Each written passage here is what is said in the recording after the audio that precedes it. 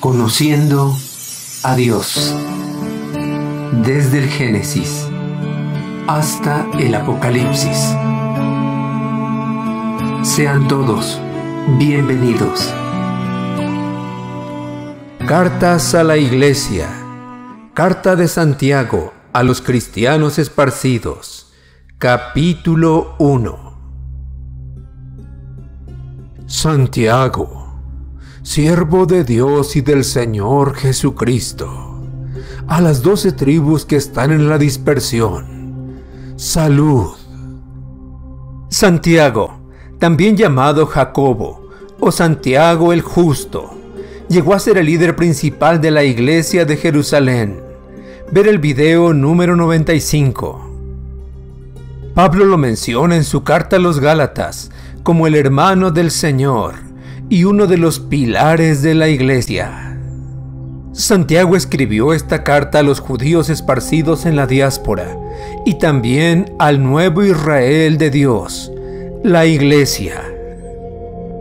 Hermanos míos, tened por sumo gozo cuando os halléis en diversas pruebas, sabiendo que la prueba de vuestra fe produce paciencia.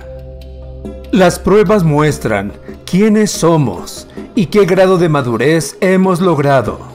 Podemos sentir gozo aún en las pruebas difíciles, porque son oportunidades para mostrar nuestra confianza en Dios y obtendremos más paciencia. Mas tenga la paciencia su obra completa, para que seáis perfectos y cabales, sin que os falte cosa alguna. La paciencia es fruto del Espíritu Santo y nos hace más fuertes, llevándonos a la perfección que Dios espera, a la madurez plena, sin que nos falte nada. Y si alguno de vosotros tiene falta de sabiduría, pídala a Dios el cual da a todos abundantemente y sin reproche, y les será dada. La sabiduría de lo alto es muy necesaria para vivir la vida cristiana, y Dios está completamente dispuesto a darla en forma abundante, pero debemos pedirla con fe. Pero pida con fe no dudando nada, porque el que duda es semejante a la onda del mar, que es arrastrada por el viento y echada de una parte a otra. Debemos pedir con la seguridad de que Dios es poderoso y generoso para darnos todo lo que necesitamos. Al dudar de la bondad de Dios, somos como una ola inestable en el mar agitado y sin confianza en Dios, no recibiremos nada. No piense, pues, quien tal haga, que recibirá cosa alguna del Señor. El hombre de doble ánimo es inconstante en todos sus caminos. El que piensa de una manera, y cambia de parecer y sentir según su ánimo o las circunstancias. En todo lo que haga será inconstante y no será una persona a la que se le pueda confiar nada. El hermano que es de humilde condición, gloríese en su exaltación. Pero el que es rico, en su humillación porque él pasará como la flor de la hierba. Porque cuando sale el sol, con calor abrasador, la hierba se seca, su flor se cae y perece su hermosa apariencia. Así también se marchitará el rico en todas sus empresas. Bienaventurado el varón que soporta la tentación, porque cuando haya resistido la prueba, recibirá la corona de vida que Dios ha prometido a los que le aman. Parte de las pruebas son las tentaciones que experimentamos a diario. Jesús mismo fue tentado por el diablo, pero él le venció tan solo citando las escrituras. Ver el video número 44. De igual forma, podemos vencer si amamos a Dios sobre todas las cosas, y Él nos premiará con la corona de vida. Cuando alguno es tentado, no diga que es tentado de parte de Dios, porque Dios no puede ser tentado por el mal, ni Él tienta a nadie.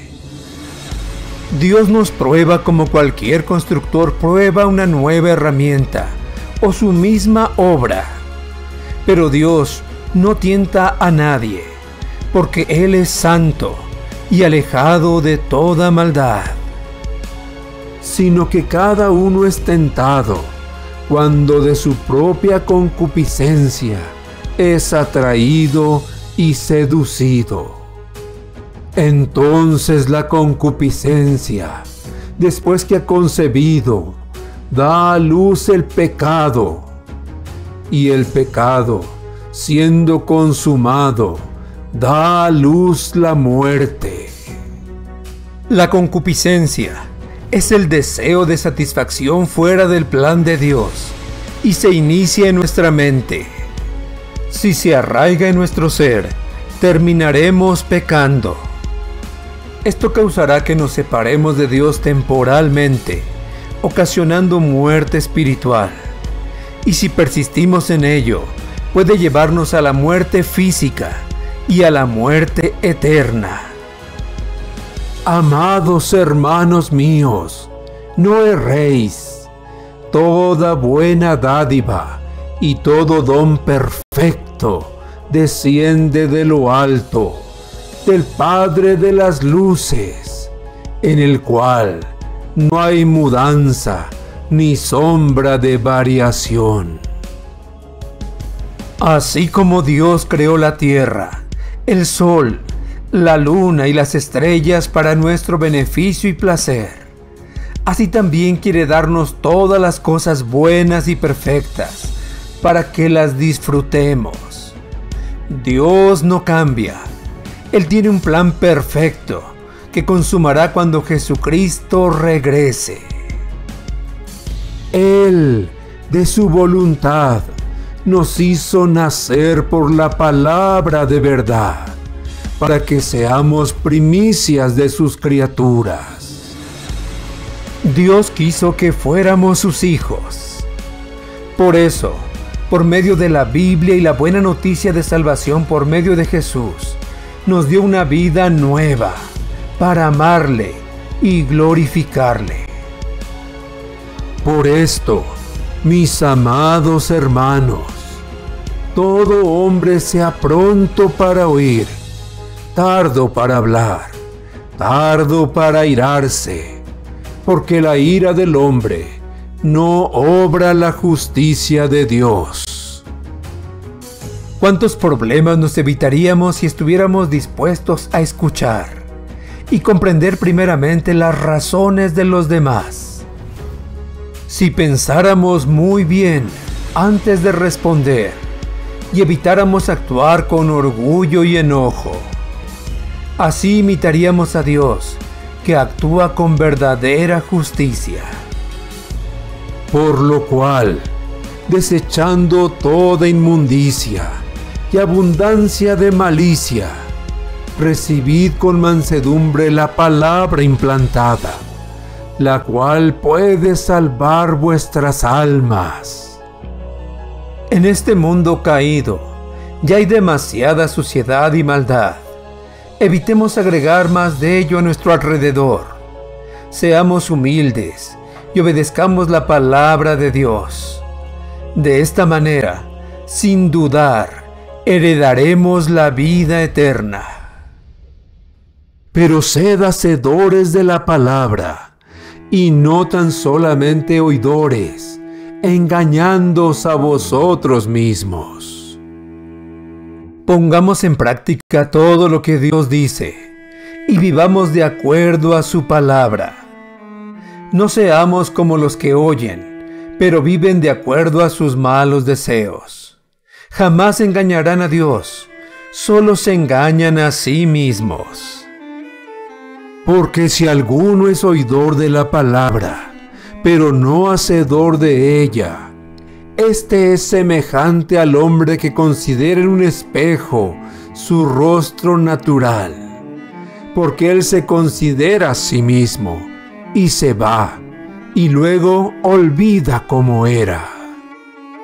Las personas que no quieren obedecer a Dios son como un hombre que se mira al espejo y se da cuenta de lo mal que está y de los cambios que debe hacer pero aunque sabe que necesita cambiar, no hace nada para mejorar y olvida sus defectos. Mas el que mira atentamente en la perfecta ley, la de la libertad, y persevera en ella, no siendo oidor olvidadizo, sino hacedor de la obra, éste será bienaventurado en lo que hace. Por el contrario, si ustedes ponen toda su atención en la palabra de Dios y la obedecen siempre, serán felices en todo lo que hagan. Porque obedecer la palabra de Dios nos libra de pecar.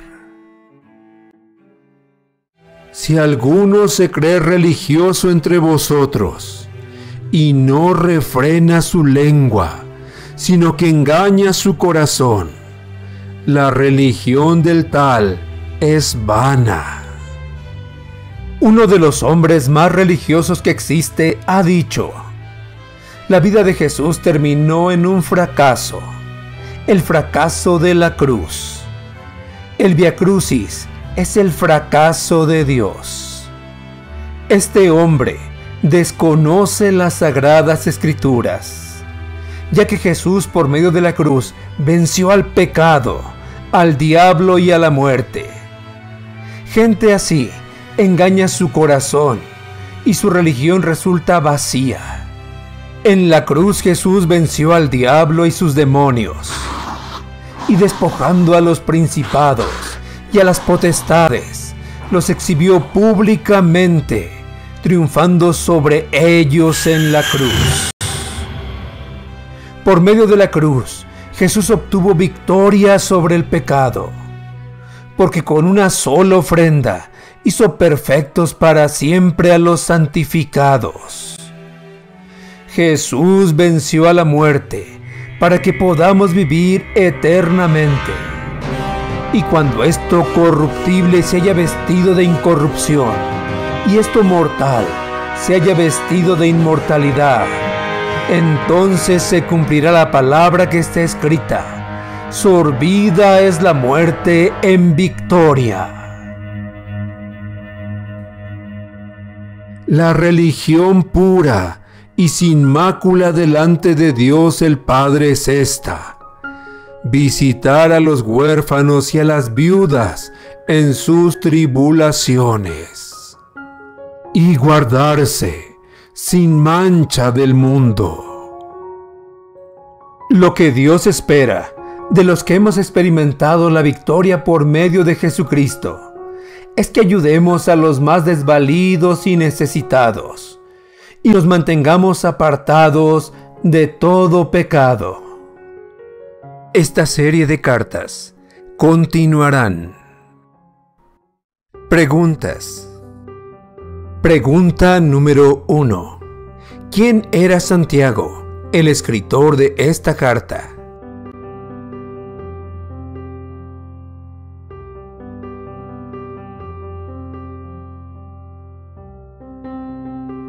Pregunta número 2. ¿Para quiénes escribió esta carta?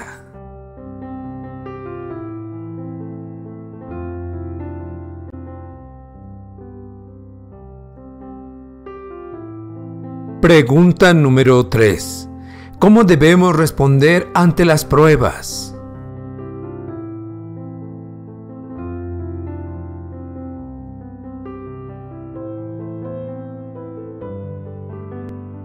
Pregunta número 4. ¿Cómo debemos pedir sabiduría a Dios o cualquier otra petición?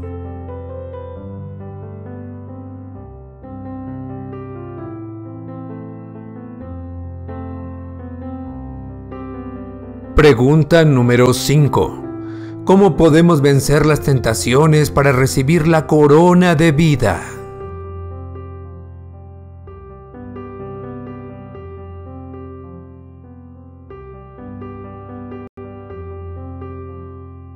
Pregunta número 6. Ya que Dios no tienta a nadie, ¿qué es la concupiscencia y cómo actúa?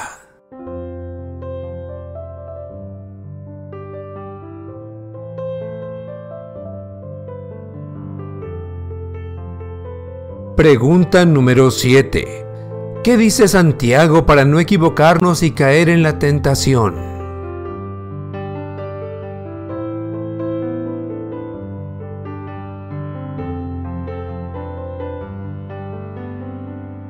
Pregunta número 8. ¿Cómo debe ser el hombre de Dios para escuchar, hablar y enojarse?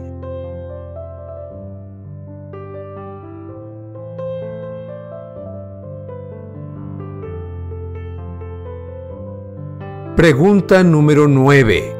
¿Qué dice Santiago respecto a la palabra de Dios?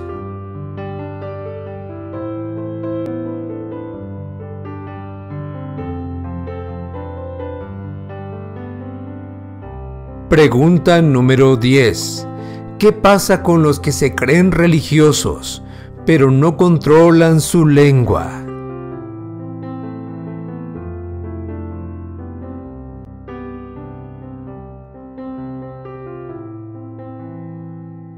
Pregunta número 11. Según Santiago, ¿cuál es la manifestación de la religión pura y sin mancha?